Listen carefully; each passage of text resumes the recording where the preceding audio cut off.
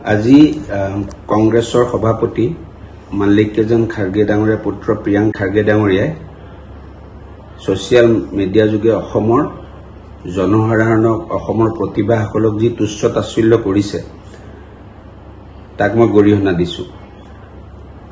যোৱা আঠটা বছৰে বিজেপি নেতৃত্বাধীন চৰকাৰখনে বিশেষভাৱে হিমন্ত বিশ্ব শৰ্মা ডাঙৰীয়াই অসমৰ অৰ্থনীতিৰ এক অভূতপূৰ্ব দিশত আগবঢ়াই লৈ গৈ আছে।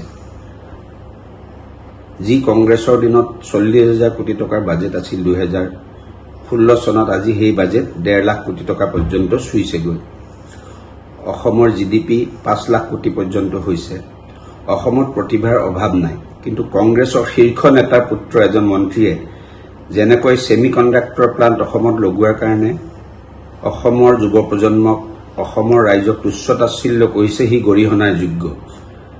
মই আশা কৰিছো কংগ্ৰেছৰ নেতৃবৃন্দই বিশেষকৈ ভূপেন বৰা ডাঙৰীয়া আৰু গৌৰৱ গগৈ ডাঙৰীয়াই ইয়াৰ ওপৰত মন্তব্য প্ৰদান কৰিব। অসম সদায় ভাৰতবৰ্ষৰ লগত একেলগে আগবাঢ়ি যাবলৈ চেষ্টা কৰি আছে আৰু আমি তাত সফলো হৈছো।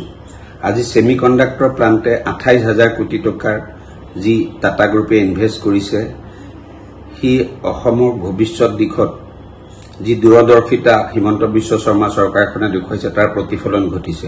আৰু তেনে এটা কাৰ্যক কংগ্ৰেছৰ শীৰ্ষ নেতা মল্লিকাৰ্জুন খাৰ্গেৰ পুত্ৰ প্ৰিয়াংক খাৰ্গে ডাঙৰীয়াই যেনেকৈ তুচ্ছ তাচ্ছিল্য কৰিছে সি গৰিহণাৰ যোগ্য আৰু অসমৰ ৰাইজে সমুচিত উত্তৰ ইয়াক কংগ্ৰেছ দলক দিব। আজি কংগ্ৰেছৰ সভাপতি মাল্লিকাৰ্জুন খাৰ্গে ডাঙৰীয়াৰ পুত্ৰ প্ৰিয়াংক খাৰ্গে ডাঙৰীয়াই ছচিয়েল মিডিয়া যোগে অসমৰ জনসাধাৰণক অসমৰ প্ৰতিভাসকলক যি তুচ্ছ তাচ্ছিল্য কৰিছে তাক মই গৰিহণা দিছো। যোৱা আঠটা বছৰে বিজেপি নেতৃত্বাধীন চৰকাৰখনে বিশেষভাৱে হিমন্ত বিশ্ব শৰ্মা ডাঙৰীয়াই অসমৰ অৰ্থনীতিৰ এক অভূতপূৰ্ব দিশত আগবঢ়াই লৈ গৈ আছে। যি কংগ্ৰেছৰ দিনত চল্লিছ হাজাৰ কোটি টকাৰ বাজেট আছিল দুহেজাৰ ষোল্ল চনত আজি সেই বাজেট ডেৰ লাখ কোটি টকা পৰ্যন্ত চুইছেগৈ। অসমৰ জি ডি পি পাঁচ লাখ কোটি পৰ্যন্ত হৈছে।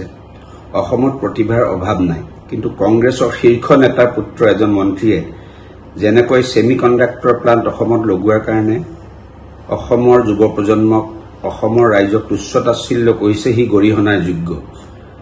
মই আশা কৰিছো কংগ্ৰেছৰ নেতৃবৃন্দই বিশেষকৈ ভূপেন বৰা ডাঙৰীয়া আৰু গৌৰৱ গগৈ ডাঙৰীয়াই ইয়াৰ ওপৰত মন্তব্য প্ৰদান কৰিব। অসম সদায় ভাৰতবৰ্ষৰ লগত একেলগে আগবাঢ়ি যাবলৈ চেষ্টা কৰি আছে আৰু আমি তাত সফলো হৈছো। আজি ছেমি কণ্ডাক্টৰ প্লাণ্টে আঠাইছ হাজাৰ কোটি টকাৰ যি টাটা গ্ৰুপে ইনভেষ্ট কৰিছে সি অসমৰ ভৱিষ্যত দিশত যি দূৰদৰ্শিতা হিমন্ত বিশ্ব শৰ্মা চৰকাৰখনে দেখুৱাইছে তাৰ প্ৰতিফলন ঘটিছে। আৰু তেনে এটা কাৰ্যক কংগ্ৰেছৰ শীৰ্ষ নেতা মল্লিকাৰ্জুন খাৰ্গেৰ পুত্ৰ প্ৰিয়াংক খাৰ্গে ডাঙৰীয়াই যেনেকৈ তুচ্ছ তাচ্ছিল্য কৰিছে সি গৰিহণাৰ যোগ্য আৰু অসমৰ ৰাইজে সমুচিত উত্তৰ ইয়াক কংগ্ৰেছ দলক দিব। আপুনি বিচৰা বাতৰি পাব কেৱল নিউজ এইটিন এপত। নিউজ এইটিন এপ ডাউনলোড কৰিবলৈ স্কেন কৰক এই Q R code. Google Play ষ্টৰতো পাব এই নিউজ এইটিন এপ।